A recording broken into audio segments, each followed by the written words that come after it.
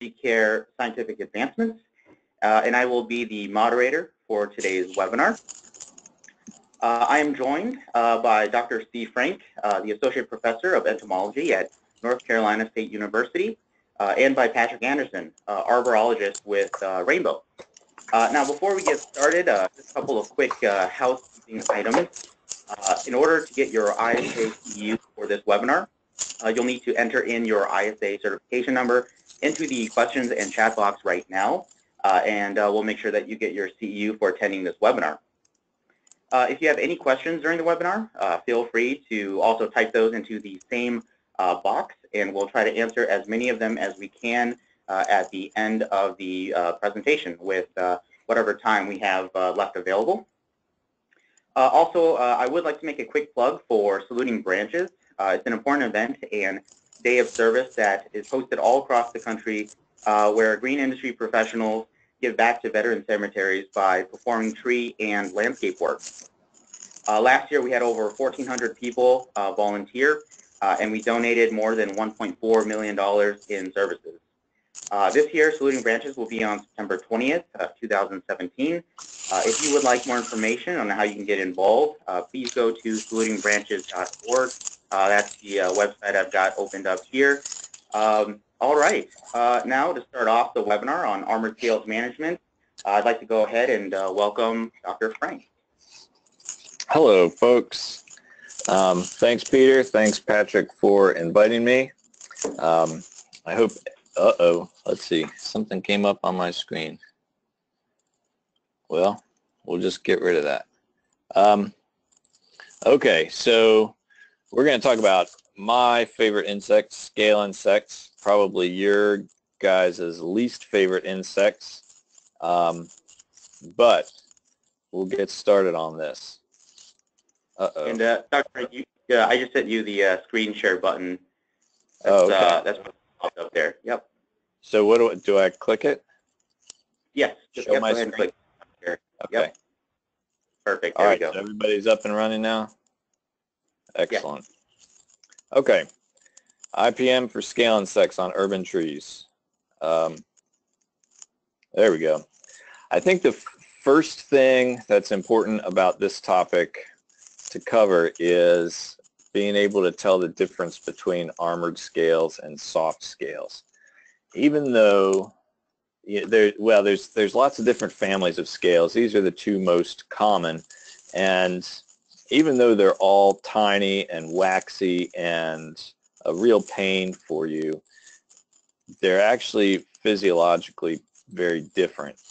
And so the reason that this becomes important is in management um, where certain products will kill soft scales but not armored scales. And so uh, you can waste a lot of time and money and make clients pretty upset if you're using the wrong products on the wrong kinds of scales.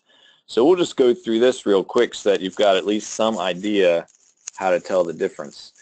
Um, the two the two main features that that distinguish these uh, kind of to the naked eye is that armored scales have uh, and can you guys see my pointer if I use that to point? Okay, well, I'll keep doing it in case. Um, armored scales have a waxy cover, that's called a test, and if you if you if you're looking at a scale on a tree and you flip that test over with your fingernail or uh, the point of your pocket knife or something, you can see that as in this picture, the, the insect stays attached to the tree and the waxy cover comes off of the insect. With soft scales, the way that they produce their test is that they um, extrude the waxy material directly from their body and so it's permanently attached. And so if you try and flip over a soft scale, you're going to get the whole insect that flips over, not just the waxy cover. Um, and so that's one way to examine these and, and try and figure it out. The other way, and part of what makes them so different physiologically is is that armored scales do not produce honeydew.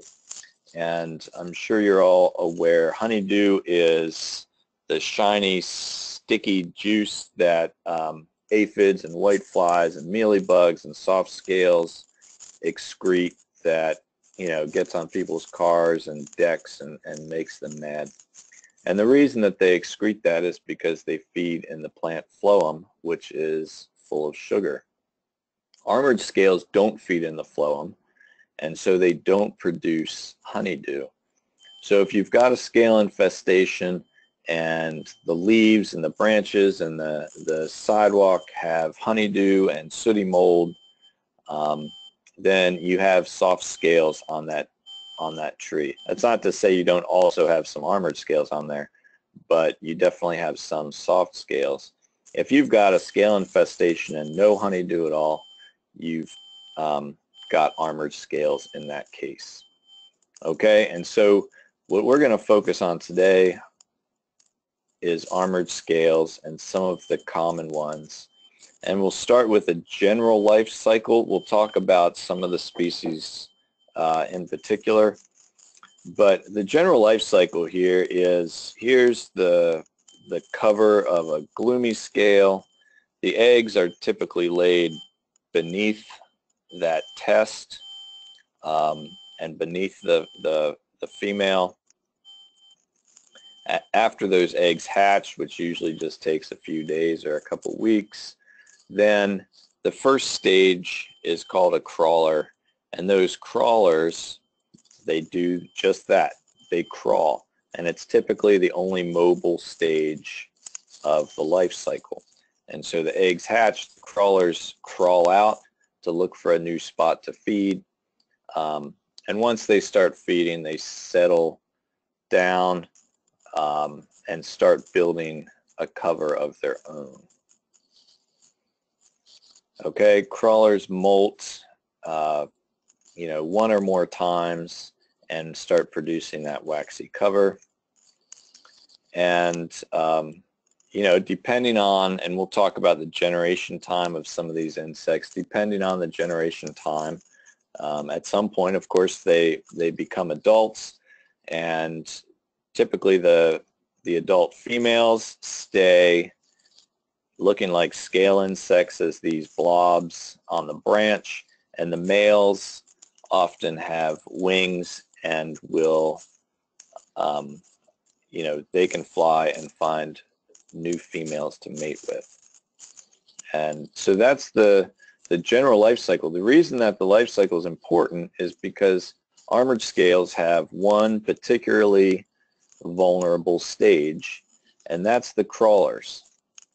And so if we go back a second, these tiny crawlers, all these yellow dots on this uh, euonymus leaf, these little tiny guys up in that gloomy scale and down here on this, this pine needle scale.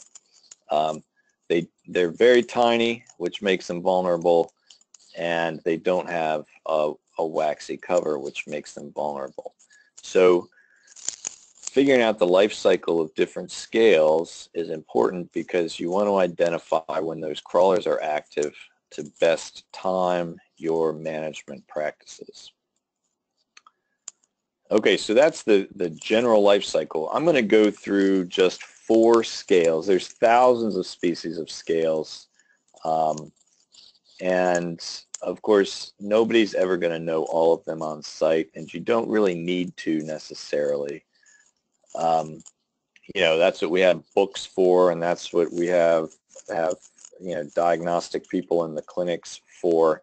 As long as you can tell if you've got an armored scale or not, and you can distinguish some of these most common species, uh, you'll be in good shape. But these, these are probably uh, among the most common and will give you an idea of uh, the biology of, of scale insects generally, armored scale insects.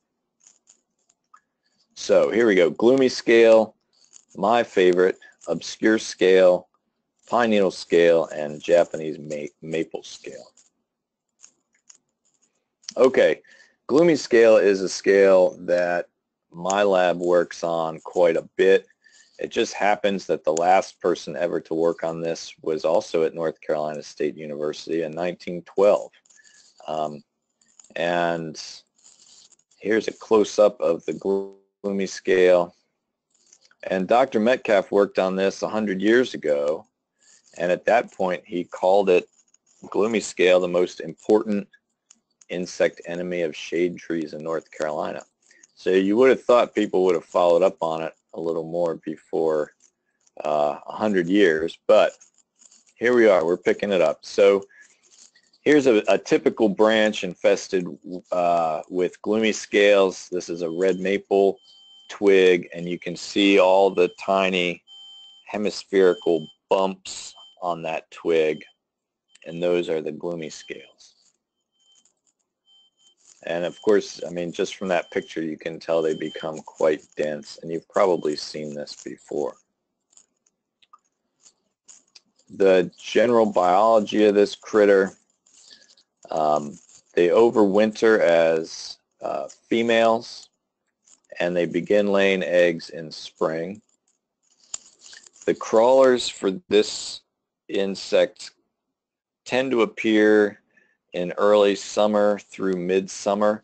And, uh, you know, a lot, I'll just tell you ahead of time, specific dates, of course, are going to change by year and whether it's a warm year, a cool year, and, and also, of course, by your location. And so, um, you know, things will become active later in Massachusetts than they will in North Carolina. So uh, I'll try, I try and and think in terms of seasons rather than specific dates just to make it more applicable. But early summer is when we see the crawlers for these guys, and there's just one generation a year. Part of the trick, you know, we talked about the crawlers that are the most vulnerable, and you want to try and target the crawlers, especially if you're using something like horticultural oil and for some scale insects, like Euonymus scale, all those crawlers come out almost simultaneously on a particular plant. And so at that point, it's very easy to, to knock out a big chunk of that generation with one application of, say, horticultural oil. With these gloomy scales, the crawlers come out gradually over about eight weeks. And so anytime you make an application like that, you're really only uh, you're really only getting a small proportion of the crawlers that will eventually emerge. So that's one of the reasons that this scale is difficult to manage. So Gloomy scale hosts, the most common of all gloomy scale hosts, and among the most common trees planted in the U.S. is red maples. Um, here's one, you know, this is on our campus, heavily infested with gloomy scales. You can see all the bumps on the trunk of that tree. And, uh, and so this is by far the primary host. It, it can get on, on other We've seen it on hickories and, and dogwoods, and uh, I've got some tulip poplars on campus I've found that, that have some. So it, it is generalist, uh, but it seems to be most aggressive and most common on red maples and other maples. And here's the damage. And I didn't include damage slides for every single scale insect because it's, it's generally very similar. And so you can see on this slide, these two trees on campus, um, not exactly beautiful specimens, where this tree on the left is misshapen. You, there's a lot of dead um, the tips of the twigs are dead up in here. The, the canopy is very thin. The tree to the right, of course, you can see that building right through the canopy where it should be dense and lush. More uh, dieback up here on the tips. And these are the kinds of things where if you get high densities of scales that are pulling um, energy and resources out of the plant, you're going to have, you know, gradually, uh, you know, thin twigs that start to die back, and then as densities become greater, you'll lose uh, more of the more of the canopy, and the canopy will become sparser. This can take a long time, though, and oftentimes by the time people realize that there's scale insects there, the infestation has has gotten out of control pretty badly. Okay, obscure scale. This is another super cool scale. It's related to gloomy scale. Actually, they're in the same genus. And so the difference here is partly their hosts. The most common hosts differ. These obscure scales are flatter and wider. The gloomy scales are um, very hemispherical, and these tend to be, well, like I say, flatter and wider, not so round. Um, here's here's a twig with with some obscure scales on there, a little bit different look than the gloomy scales. Biology of these critters, also one generation per year. These overwinter as nymphs, and as spring comes on, those nymphs quickly mature into adults. And so, um, you know, you really, by late spring, have adults under there. And uh, the crawlers for these also come out over a very long period of time. And so you know, that's this is another one that's difficult to manage for that reason. You don't have a simultaneous flush of crawlers.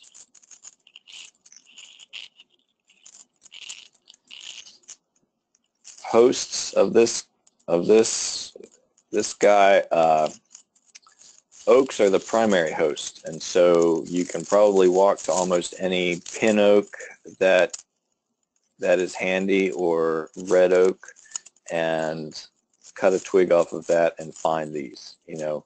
Um, and, and you should do that after the webinar. Just walk out of your office or wherever you are, and there's probably a pin oak out there, and you can probably just take a quick look at these guys. Um, but these two are generalists, and so we find obscure scale on other plants like dogwoods, hickories. We find it on red maples and other maples, willows, and, and some other tree species. But again, where it seems to be uh, most common and most aggressive is on oaks. Pine needle scale. Obviously, pine trees of uh, not just pines, we'll get to the hosts, other conifers too. Uh, this one is, uh, you know, it's it's pretty distinct. You can tell from this bottom picture, if you've got a bunch of these on there, even if you just have a few, you can see those white flecks of the scale against uh, the background of the needles. And I was opening up some of these just the other day in Raleigh and we had adults and eggs underneath there. These are, they make purple eggs, which is cool. Here's some in the bottom picture. Once you, you, you pick those covers off, you can see the eggs. And this is an important monitoring tactic. You know, if you want to find out when the crawlers are active, it's even better if you can if you can monitor these scales by flipping the covers over. And if you find eggs, then you know you've got a week or two at least before the crawlers come out. And so that gives you time to actually plan. If you're just monitoring for crawlers, then uh, you know some people will monitor for crawlers by putting double-sided tape around a twig or something like that and and look for the crawlers to get stuck on there. Once you find crawlers, it's go time. Uh, if you monitor for eggs, then you know you you've got a little more time to plan. So flip those covers over and just take a look at what's going on under there. These uh, overwinter as eggs and adults. Um, and there's one to two generations per year. In the far north, even, uh, you know, above Pennsylvania, New England area, there's one generation per year. Anywhere south of that, it seems like there's at least two. And people haven't looked at it very thoroughly in southern states, so who knows, there could be even more. Um, but uh, one to two generations per year with this guy. Late spring, the crawlers become active. Like I say, uh, two weeks ago, I think I, I did a blog post about these and there were eggs under there. I haven't checked to see if the crawlers are out yet. Um, and then midsummer, you're going to get, in most areas, another batch. You know, it'll take it'll take two months for the crawl the spring crawlers to mature, and then come June or July, depending on where you live, you'll have more eggs and more crawlers for that second generation. Okay, pine needle hosts. Of course, pines, you know, whatever your most abundant local pines are, it probably has it here. Primarily loblolly pines and, and white pines. Um, but of course, as you know, as you as you go around, there's lots of lots of pines and other conifers, firs and spruces and cedars are also susceptible to these scales, and they also have their own batch of scales to deal with. But um, you know, this is this is a pretty common one on conifers. Japanese maple scale. This one is a sort of increasing problem. It seems like um, it's it's obviously an exotic from Japan. I think it came in on pear trees many many years ago. Um, and nurseries are having a terrible time with this insect. Here's a branch. This is, uh, you know, I took this picture walking to work. It's on a dogwood tree. And one thing that's important to note about this that I try and get through to the nursery folks is it's called Japanese maple scale, but that doesn't mean it's always on Japanese maples. It is Japanese. It gets on maples uh, but it's not just on Japanese maples. And in fact, there's lots of hosts that it's far more common on than Japanese maples, like dogwood. We see this uh, all over on on dogwood street trees, and so and you can see how dense all these white flecks are the scales. Okay, here's Japanese maple scale on a maple Again, the white flecks. There's also, uh, you know, if you were looking at this in person, you would see some brown covers, and that's just because they have this dusty white uh, material that if you rub that off, they're actually brown underneath. Okay, biology.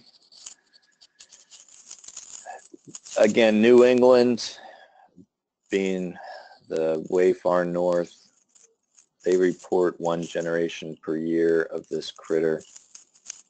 And and that may well be. I think it probably also varies depending on you know if you're if you're in the heart of a city where it's warmer more of the year, you might get more generations. Mid-Atlantic, Maryland, and Virginia regions report two generations a year folks haven't really done the research further south than that, uh, but it's likely that there's two and a half or three generations per year in other areas.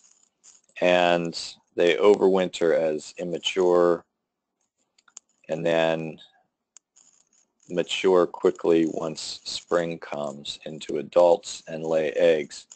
Underneath, they produce these really beautiful purple eggs that are lined up in this bottom picture. The this is another one, and I think you know I've tried to pick the most common scales for for this talk, and I think part of the reason that these are the most common and the most severe is because they all have this extended period of crawler hatch, and so crawlers from Japanese maple scales can trickle out for eight weeks, which means that really at any given time you've got overlapping generations and you might have eggs, crawlers, nymphs, and adults all at the same time, which makes them incredibly hard to manage. This one is most general of all in terms of host plants and uh, you know over 45 genera from 27 families Here's some of the common ones, this whole list. Of course, maples and uh, dogwoods we've talked about, cotoneaster. Lots of, in the nursery industry, they seem to have most trouble with this on broadleaf evergreens like hollies and, uh, you know, little leaf hollies and boxwoods and, and, and things like that. Um, but the other tree I see it on a lot around here is elms. The city's been planting lots of these new elms in the last three years, and when I walk around, it seems like they're all getting covered in Japanese maple scales. So keep an eye out for that. I'll be curious to know how common that is. Okay, and and you know, we've gone through four of thousands of scales. There's lots of other important armored scales. There's a whole book that's really fantastic that I keep on my desk here, Armored Scales of Trees and Shrubs, um, that, you know, if you want more detail about a particular critter, that's the, the place to go. Um, but again, if you can at least detect these common ones, and if you can at least tell whether you have an armored scale or not, that's a big step in terms of, of management. And then use your, you know, your regional extension clinics to help with identifications. Oftentimes, you know, our clinic here at NC State will identify from photographs if they can, and they don't charge for that. And so you know, sometimes you can get a decent picture and, and get a pretty quick identification. Okay, I'm going to go through just a brief management section here. I think uh, Patrick's going to talk more about this, but the main thing that I mentioned is that the timing of control is critical with scales, and especially if you're trying to use some sort of product with contact activity.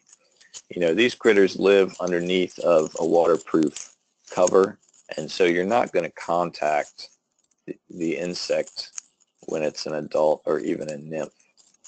And so something like a pyrethroid, if you spray it on an adult, it's just not going to kill it. And what it does is kill all the natural enemies and um, you end up with, with more scales over time because the natural enemies are being killed, but the scales are not.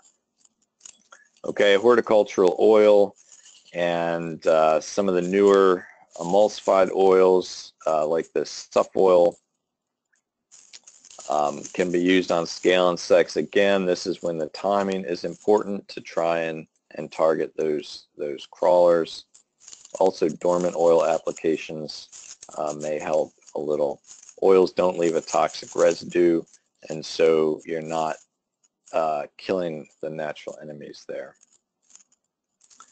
And then there's there's lots of you know newer chemistries that that can be used for armored scales. The important point here uh, well, a couple important points. Many of these are neonicotinoids, which, you know, are, you know, getting more scrutiny these days from the public and, and regulators and everyone else. Uh, insect growth regulators are also um, a good choice for armored scales. The important thing here is that imidacloprid, one of, uh, you know, an industry favorite chemical, is not effective for armored scales. And so imidacloprid, which is Merit in the landscape originally, Marathon in nurseries. Now, of course, there's many, many generic formulations of that. Um, not, not effective and usually not labeled for armored scales. Okay, so that's, that's the main reason you need to be able to tell these apart is, is because of that product or that active ingredient. Okay, the other thing in terms of scale insect IPM that I wanted to touch on is, um, you know, one of the, the, the first steps in IPM is to put the right plant in the right place so that the plant is not under a great deal of stress and not susceptible because of that stress to pest insects. And so some of the work we've been doing, we've found that the amount of scale insects on a tree is very highly related to the amount of impervious surface cover around that tree. Okay, and so impervious surfaces, you know, parking lots, rooftops, sidewalks, this sort of thing, they increase the temperature of the tree uh, and we found that those higher temperatures increase scale, survival, and fecundity. Impervious surfaces, of course, they're impervious, so they reduce the amount of water and the soil moisture around those trees. And this can put the trees, especially with the higher temperatures, under drought stress and we found that uh, the drought stress can also increase scale insect fecundity, so the number of eggs that they produce. So here's just a, this is the general relationship between the percent of impervious surface around a tree and the number of scales that we find on those trees. So if we know that the that scale insect abundance increases with the amount of impervious surface, can we use this to improve scale insect IPM? So we know that impervious surface cover is bad for trees, but in regards to scales, how much is too much? Okay, so so what we started working on And when I say we here, I mean myself and my former graduate student, Adam Dale, who I think anyone who is on this webinar next time will hear from Adam. He's at the University of Florida now. Um, and so he and I started working on whether there's an impervious surface threshold we could use to predict the condition of trees and scale abundance. And it turns out that there is. And so to spare you all of the, the statistics and, and, and figures, I'll just go ahead and give you the punchline that for red maples planted, and we analyzed all the red maples in the city of Raleigh to do this. Um, red maples planted in areas with zero to 32% impervious surface at 25 meters around the tree. Tended to be in good or excellent condition. Uh, in the middle range of impervious surface, 33 to 66%, those trees tended to be in good or fair condition. And over that, over 66%, the trees were almost universally in poor condition. And so we kind of have a threshold now that we can use when planting trees. You know, we can make decisions about whether a red maple should go in a particular site or not. And you can also assess if you, if you're called upon to work on a tree uh, for a client or something, you can assess the susceptibility of an existing tree to scale insects.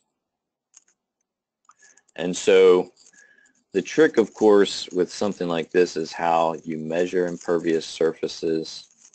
And, you know, if this is, uh, well, it is, this is an existing tree that we've worked on.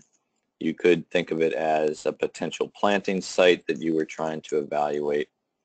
Um, you know, for anyone who uses ArcGIS or similar programs, you can you can get the land surface covered data and calculate this relatively quickly. Um, and so around this tree is 66% impervious surface cover at 25 meters. But most folks don't use that. And so the folks who do, landscape uh, architects, landscape designers, municipal planners, probably have access to this software and know how to use it. And so when they're designing landscapes, they could uh, they could use these thresholds before they plop a red maple in every single spot on the map. Um, so planners can use it, but the planters probably often don't. And so Adam and I wanted to think about how we could provide a way for planters, folks on the ground, to measure impervious surface without a computer. So this was our challenge. And it turns out there is a way that you can do this, and that's what I'll go through next. And we call this the pace to plant method because you're just using your paces, the number of steps that you take, to measure impervious surface cover. And I've got a figure here to help illustrate this. Here's our same tree or planting site. And the way to, to use this method is choose your closest impervious edge, which in this case is right here, this curb just to the right of the tree in the in the figure and you turn 45 degrees to that edge and you just take 25 steps in a relatively straight line as best as you can. Um, and then you count the number of steps that land on impervious surface. So in this case, all those white footsteps are on impervious surface. The black ones are on grass. Okay, turn 90 degrees and do that again. Turn 90 degrees and do that again. Of course, don't walk over people's cars. You can pretty much assume if you run into a car or a building that it's impervious. Um, and do that again. So now you've taken 25 steps four times, which is 100 steps. And if you've counted the number of steps that landed on impervious surface, you now have a percentage. And it turns out that this comes out the same as our calculation from ArcGIS, 66% using this method.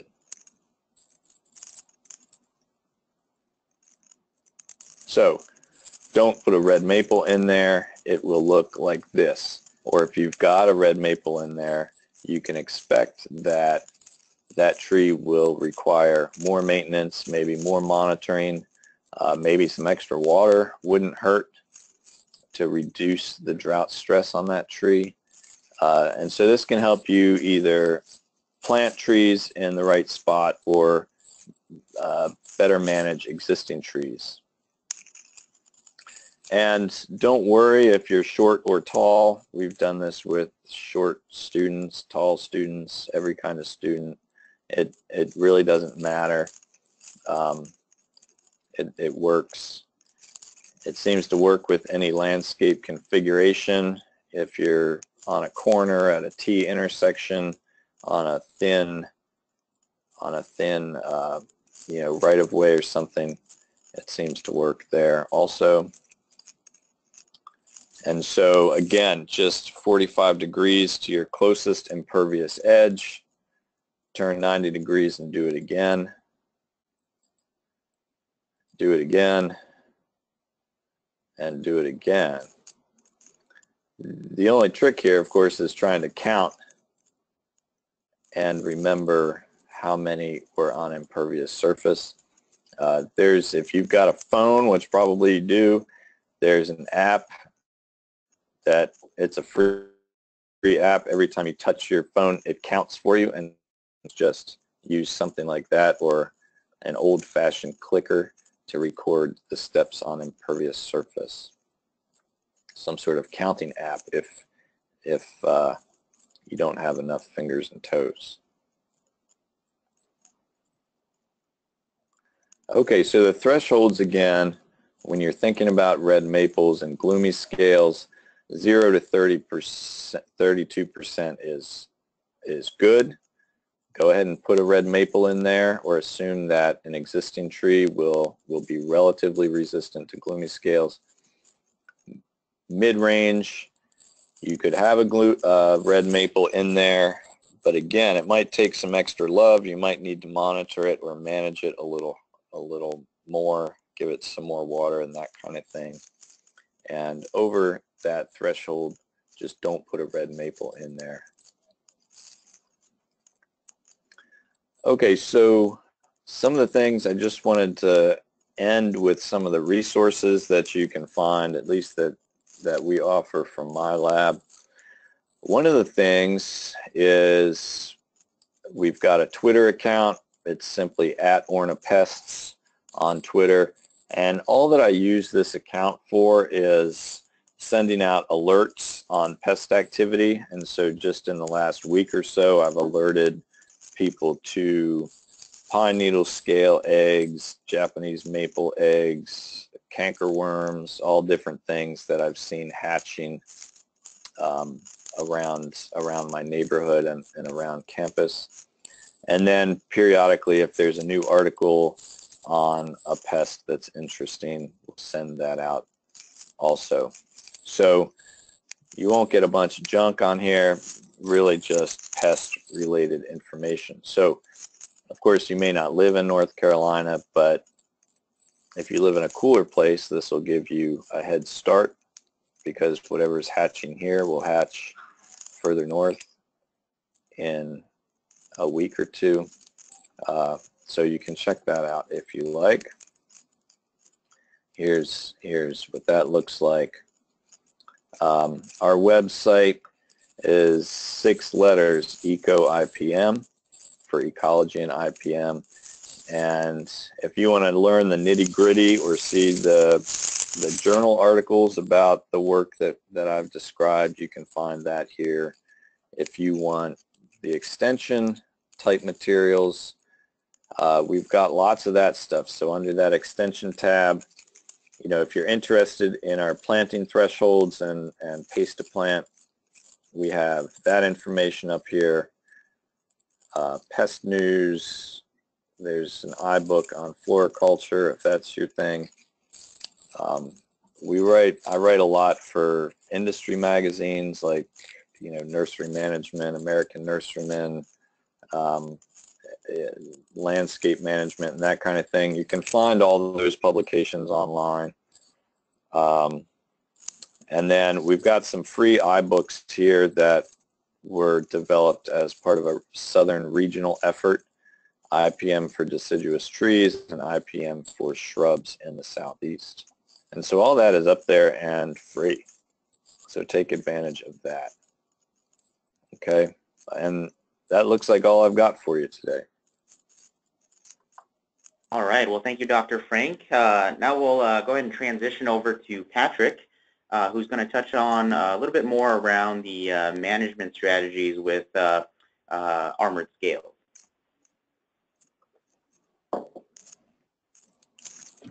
Good afternoon, everyone. Thank you, Dr. Frank. Um, so for those guys who are not familiar with Dr. Frank, he is doing some really great work down here in North Carolina, NC State, and uh, we've been privileged to collaborate with him a few times here in the past few years, and um, it's always been a great experience. And uh, just keep in mind, I mean, there's really only a handful of uh, university researchers really concentrating on our industry in arboriculture and uh, landscape management. And uh, Dr. Frank is, is, just one of them, one of the few in doing great work. So we're really happy that he could um, be working with us here today as well. Uh, again, real quick, my name is Patrick Anderson, and I'm an arborologist with Rainbow Scientific, and my role is to go around the country and perform training both with our remote staff and with our clients, as well as help develop some of these new protocols around um, pest and disease management. And so that's what we're going to talk about now. We're just going to kind of go through some of um, some practical protocols for managing some of these armored scale insects in the landscape. And of course, if, um, if you guys are familiar with Rainbow, you know that you know everything we do is is grounded in science. And just as an example of um, some of the things we've done just last year, just last year alone, we did 130 research trials, um, both in-house as well as partnering with a lot of these um, research institutions. Um, and we've contracted with Dr. Frank in the past too to help us with some gloomy scale research um, where we got some really fabulous results. Um, when we talk about management, you know, I always want to put things into context. You know, it's not about going out there and identifying a bug and just spraying it with something. Uh, we always, you know, always go back to this this um, appropriate response process and this article that was um, put out there many years ago now by Dr. John Ball.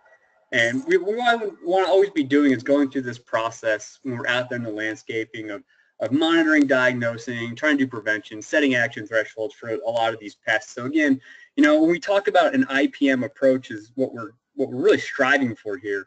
An IPM approach is not necessarily just going out there and spraying a bug because he's a bug. It's really getting down to the nitty gritty and, and figuring out what the best approach is around that. And, you know, if we take scales, for instance, you know, one calico scale, which is actually a soft scale, not an armored scale, but one calico scale is not a big deal. But when we look at something like a large population of white peach scale, now we've gotten to an action threshold where we might need to consider some kind of control using possibly an insecticide product uh, along those, um, something like that. One of the things too, so we mentioned as part of this monitoring, monitoring is really key, especially as Dr. Frank was mentioning around these um, scale insects because you know it's really timing our applications around these life cycles are going to give us the best control. So one of the tools we had in this is measuring growing degree days and using phenology. And so growing degree days are really just a measure of heat accumulation throughout the year. And the way you determine your growing degree day is you take the high temperature of the day plus the low temperature of the day you average that out, and then you select a base. And in horticulture, in our horticulture, we often use the base of 50 degrees Fahrenheit. And so we'll take the average of a high and low of the day. We'll subtract that from our base temperature of 50 degrees Fahrenheit, and that'll give us the growing degree days for that day. And those growing degree days accumulate throughout the year. So if we use this example here, if we had a high of 70, or excuse me, high 70 and a low of 50, we averaged that out and then we subtracted that from our base temperature, then we would have a growing degree day count of 10. And if that was the same for the next day, then we would accumulate that. And so these, these growing degree days accumulate throughout the year. And what people have found is that when you track these growing degree days, you can predict when some of these plant damaging pests are going to be active, a la armored scales and other scale insects. And there's some really neat growing degree day cal um, calendars out there this is one that I use very often. This was actually published through the New Jersey Department of Agriculture. And you can find this online if you simply just put, put in NJDA, uh, uh, growing degree calculator scale, you can find this. And this has a, a, pretty extensive list of different scale insects that we deal with in the landscape, and then gives us an idea of what their growing degree day um, uh, temperatures would be. And this is all around that crawler stage. So Dr. Frank mentioned that crawler stage being the most vulnerable stage, especially if we're going to be doing things like foliar applications of a product. So this is one great way that you can track um, pest emergence and really time your applications so that you're getting the best, um, most efficient way, most effective way of managing these pests and not just, again, throwing product out into the environment and not really reaching your end goal, which is, of course, managing a damaging pest. Um, this can be married also with phenology. And so phenology, to make a long story short here, is, is when certain things are occurring in nature, like the flowering of a plant or the emergence of a certain plant, this will often, we can have a, a, a coincidence of a pest becoming active as well. So for instance here, this picture here is a, a smoke bush. You guys are familiar with smoke bush. This is a picture of smoke bush in bloom. And through, again, a lot of people out there paying attention and doing research, we have an idea that when smoke bush is in bloom, then those Japanese maple scale crawlers that we discussed earlier are going to start becoming active. So this would be a, um, a time here is when you're driving around and you notice that, again, in this case, the smoke bush is in bloom, pull over, look to see those sites where you know you have Japanese maple scale, maybe start flipping over those tests, looking for egg, looking for those crawlers. So this isn't necessarily the time to go out and start spraying, but this is the time to really start keying in on monitoring a lot of these sites. So using growing degree days and phenology are really great ways to, uh, again, help us really tune in to when we need to be out there in our IPM programs, monitoring these trees, monitoring these shrubs, and then coming up with these protocols for treatment. And of course, you know, control is not just going out there and spraying chemicals. We want to look at this as a toolbox approach. And so Dr. Frank um, mentioned his research there, which I thought was really neat around the um, impervious surfaces. So you know, again, with our control, a lot of this is just cultural control, planting the right tree in the right spot, doing it from the beginning, and then again, being able to predict when we might have issues. So when it comes to actually applying these products too, we want to know that we have a lot of different ways to apply products um, nowadays. In the past, it was solely based around spraying, but now we have a lot of great products that we can use as either a soil application or even a lower bark spray application, which we'll cover very briefly, as well as we have some tree injection options as well. And again, what we want to do is we want to realize that we have several products to help us control armored scale, and we have several different ways to apply them so that we're not always going out and doing the same thing for every pest in every site. We can really fine tune our approach to the pest, the tree, and the site. Uh, and again, be really easy on our environment while being very effective on the pests that we're actually going after. So if we start with some of our spray treatment protocols, as you see here, here's a list of products that would work very well on scale crawlers. Uh, horticultural oil. Uh, this here is uh, um, is that insect growth regulator that was mentioned earlier.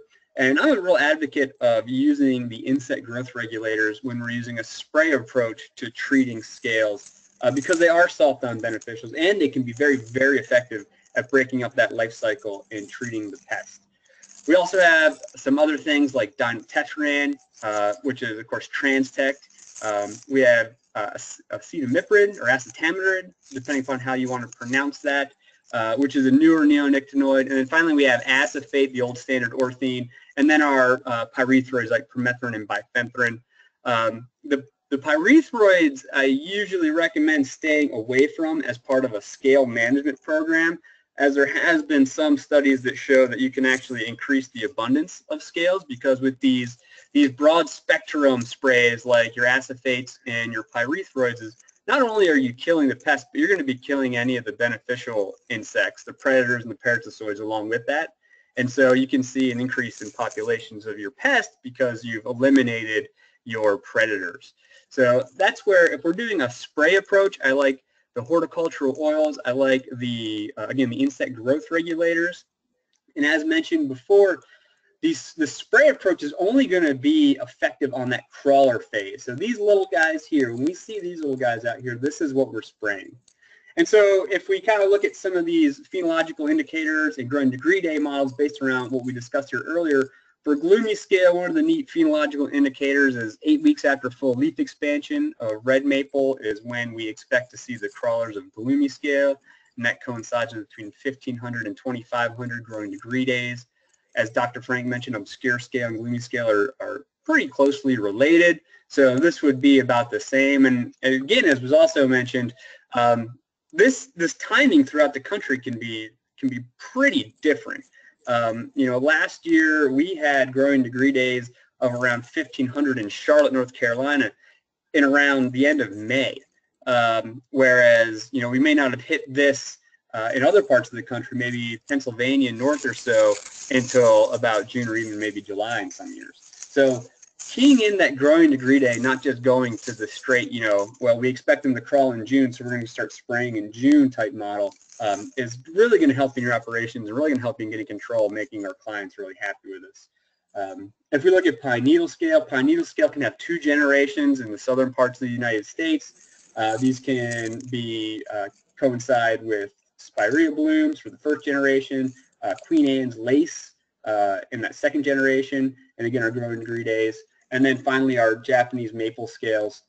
Uh, they can coincide with oak leaf hydrangea bloom, that first generation, uh, and that growing degree day of about 500 to 1600. And then finally another generation here at 2003, 2000 to 3000 growing degree days. Um, the important thing to note on especially you know our gloomy scales, obscure scales, and our Japanese red maple scales, uh, or Japanese maple scales rather, is that crawler phase can be very, very long. It, it's not like they, in many of these, not like they all come out on the same day. They can last for a few weeks, as Dr. Frank had mentioned.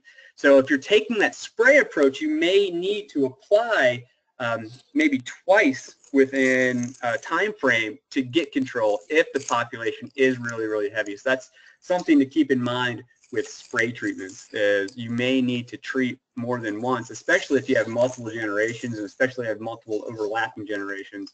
Uh, foliar treatments might need to be applied more than just once to get really good control. If we look at a, this is a, a, trial that we did here at Rainbow, and this is again on gloomy scale, and what this is representing is that insect growth regulator versus the untreated control here, and this is number of live scales.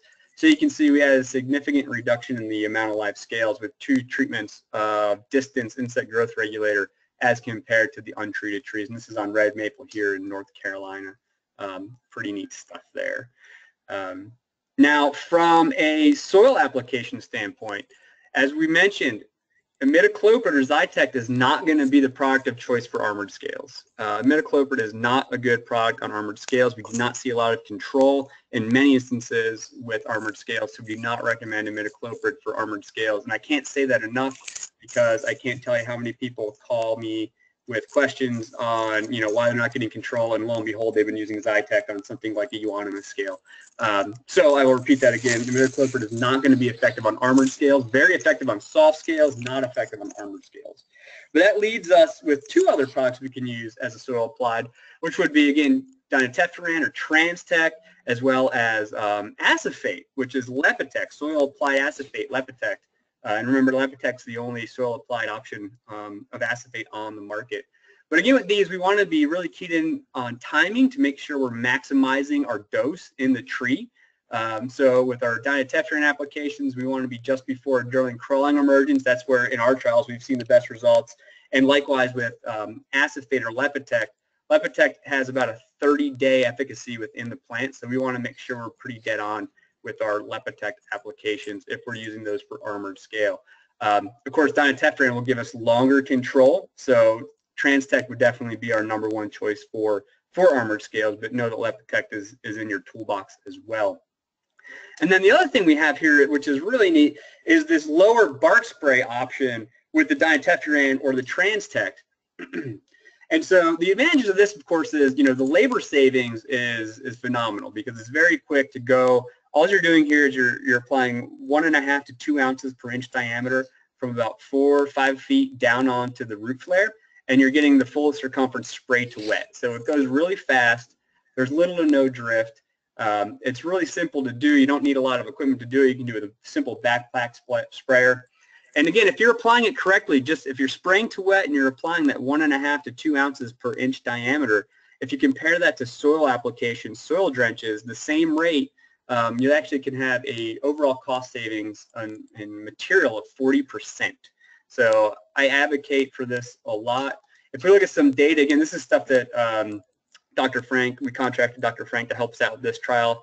Um, this is comparing some of our uh, Transtect treatments. So we can see here, this is our untreated control. And then if we compare that to Transtect soil injected with our HTI and Transtect basal bark spray, again at that protocol I just mentioned at one and a half to two ounces per inch um, diameter. spraying from about five feet down to wet on the trunk. We got really great results. Um, so here's another great option for you using Transtect. Uh, if we look at pine needle scale, another one that we talked about today, we have, uh, in this case here, we have our control. This is the percent mortality of second instar nymphs. Our control, we had 8.5% mortality, whereas with our Transtect treatments, this was um, over 90% mortality. Uh, likewise, if we look at our uh, number of adult females that are still alive, um, quite a few alive on our control, um, almost none here on our Transtect treated. So another great um, product there, another great opportunity to use that. Finally here, if we look at Lepitect, and so this is our trial here that we did. This was in uh, cooperation with Morton Arboretum quite a few years back. And so what we're looking at here, these were you know your standard kind of smaller euonymus um, shrubs using two different applications of Lepitect. We got pretty phenomenal results uh, here. So this is another option for you. Again, the Transtect will last a little bit longer. Dinotefuran will last longer in the plant, will give you longer pieces of control. But Lepitect, again, is an option, especially if you have one of these clients that are, you know, really keyed into the news and are, are kind of spooked by the neonicotinoids. This is an, an alternative for the neonicotinoid. And we also do have not only a soil injection for this, but we also have a uh, formulation that can be stem injected. Uh, again, not too many reasons why you'd want to stem inject and, and euonymus, but for some of these other scales, it might be uh, an option for us. So to wrap up with our treatment protocols, again, diagnosis is going to be key to armored scale management. Uh, we have many foliar applied products that are effectively manage armored scales, but we have to make sure our timing is going to be correct based upon the, the species of the scale and of course, um, you know, how long that crawler emergence might be. Uh, we have several systemic choices, again, with our dinotefuran and acephate. Um, but again, we want to make sure that our product choice and the timing is going to coincide with getting the maximum amount of product into the plant uh, to coincide with, you know, that crawler's feeding there.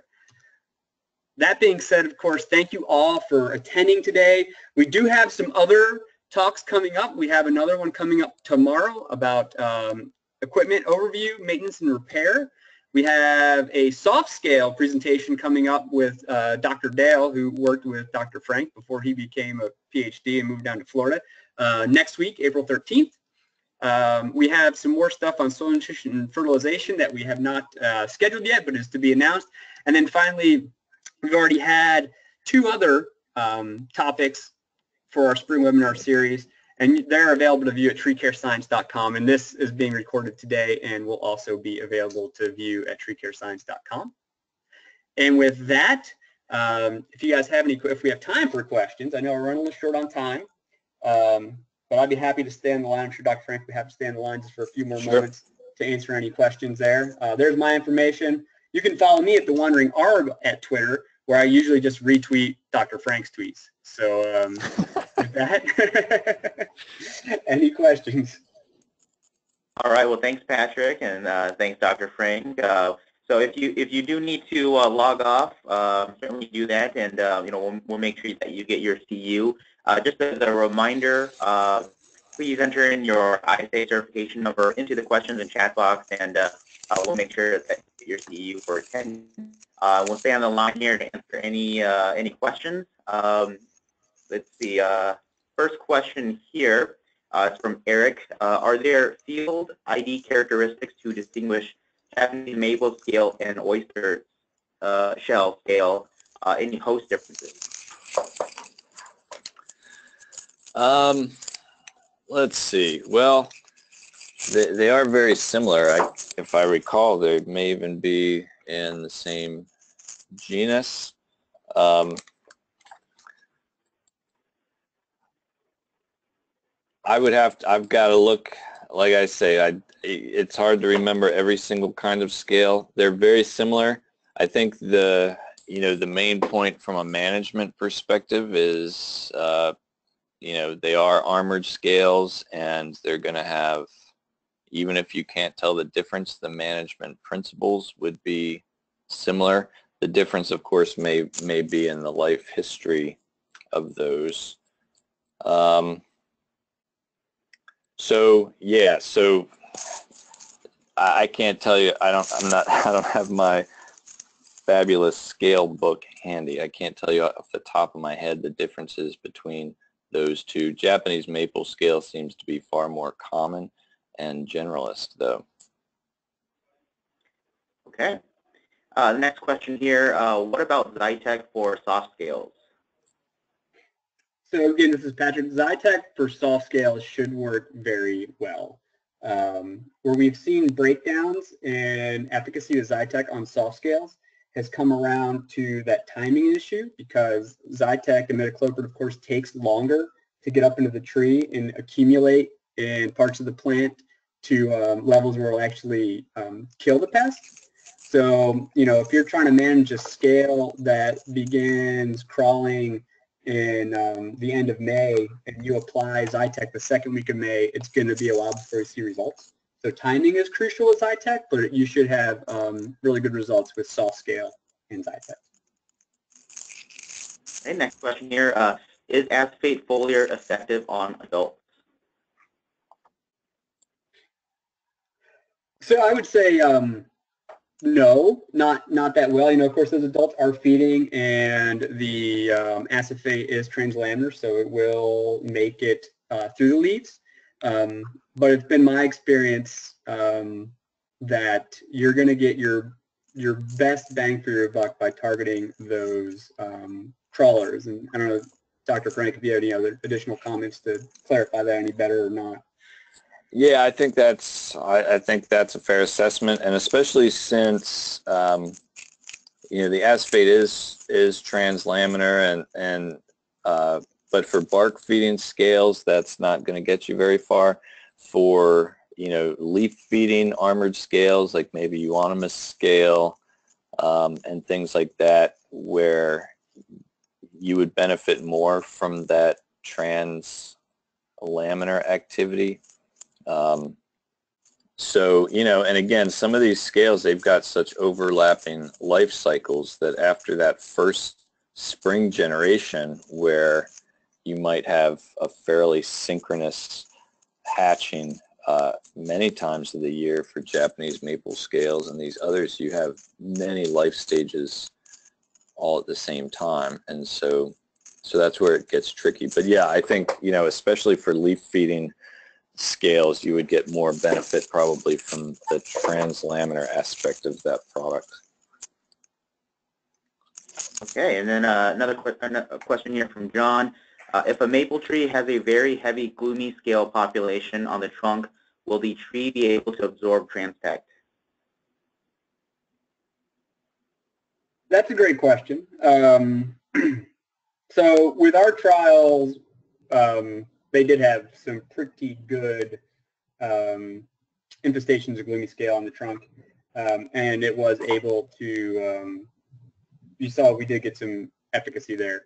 Um, to be honest, I mean, to be honest with you, if it's really super caked on there, I I don't know. Um, again, usually, you know, many of those, and, and Dr. Frank can correct me if I'm wrong or elaborate, you know, a lot of those scales that you're seeing on there often, you know, old, dead female scale. So, um, you know, I'm not sure what the integrity of that, that test is once they've died and, you know, certainly um, break down with some weather and the product be able to make it through. Um, but that's a great question. We maybe need to try to quantify that a bit better. Yeah, I hadn't thought about that uh, quite that way, but um, but Patrick's right. Many of those scales are dead, um, and and in some cases all of them are. It seems like uh, you know on some trees as that trunk bark gets thicker, my hypothesis that you know as the trunk bark gets thicker, the scales just can't reach the cells that they need to. So sometimes it looks like the trunk is is very heavily infested, um, but if you flip over some of those scales, there may not be anything under there, even if the branches are still heavily infested. But yeah, whether, you know, how much that would repel a trunk application um, or whether it would make any difference, I, I, I have no idea. All right. Uh, another uh, additional question here from John. Uh, could a person brush off some of the gloomy scale on the trunk? So, uh, you know, that's something that we need to look at. I mean, people have, I mean, I think that you could potentially, and, and folks I think have tried this with like crepe myrtle bark scale, you know, get out a power washer and, and as long as you've got pressure that's not going to actually peel the bark from the tree, you may be able to actually clean up some of that infestation uh, just, yeah, by essentially scrubbing them off. Um, yeah, I don't know. I mean, that, it would it would be it would be nice to know, and we and we've thought about that. Um, and and even after even if you were lucky enough to get rid of all the live scales with an insecticide, those tests stay on there for a long time and give the tree that gloomy appearance. And so maybe that's another way in which uh, you could spruce up a tree for a client with a power wash in the winter time probably. Um, even, you know, just to get rid of all those scales. It deserves some work. All right. Well, that looks like the, uh, that's it for questions. Uh, just want to wrap up uh, here by, uh, again, thanking Dr. Frank and Patrick uh, for their presentations today. Uh, thank you all for joining us on this webinar. and there is a post survey that follows this webinar once you log off, and um, it's completely anonymous and voluntary, so if you take the time to fill that out, that would be much appreciated. We're always looking at ways to improve what we do here at Rainbow. So thank you all again, and have a great rest of your day. Thank you. Thank you guys. Have a great one.